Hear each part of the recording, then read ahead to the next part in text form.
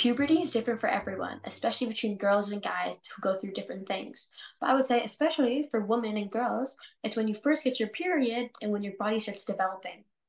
Period, uh, puberty can be scary, and you're not know you don't know what's happening to your body, and it's kind of uncomfortable, especially if you started earlier or later.